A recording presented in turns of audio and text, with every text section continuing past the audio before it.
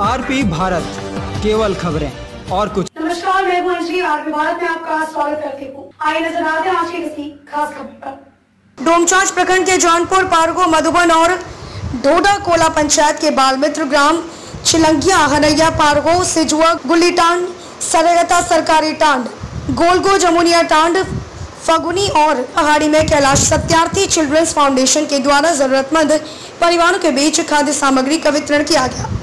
Foundation के लोगों ने बताया कि ये ऐसे परिवार हैं जिनके पास राशन कार्ड नहीं है। इन परिवारों की आर्थिक स्थिति भी काफ़ी दयनीय है।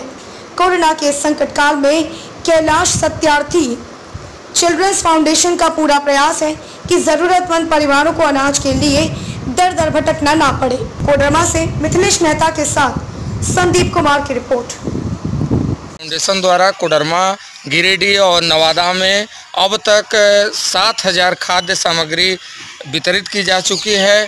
आज उसी के आलोक में पारहो पंचायत, ढोड़ाकोला पंचायत, जानपुर पंचायत और बिहार के सवैयाटांड पंचायत में 150 ज़रूरतमंद परिवारों के बीच खाद्य सामग्री का वितरण किया गया। कैलाश जी का सपना है, हर बच्चे के चेहरे पर मुस्कान हो। उसके लिए अभी ज़रूरी है कि कोरोना के इस संकट काल में जो ज़रूरतमंद लोग हैं, उनकी हम सेवा करें।